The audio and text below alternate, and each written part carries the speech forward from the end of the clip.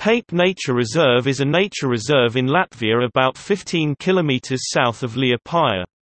It stretches over 5,700 hectares and consists mainly of bogs, carr forests and dunes around Lake Pape. It is an important site for migrating birds.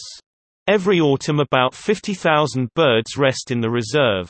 Large grazers, like Heck cattle, Konik horses and European bison have been introduced to the reserve with support of the WWF.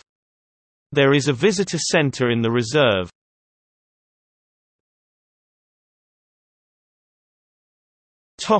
Fauna Heck cattle and horses were introduced in 1999, European bison were introduced a few years later. In 2007 there were more than 80 Heck cattle and more than 100 horses in the reserve. European bison were still below 20 and slowly increasing.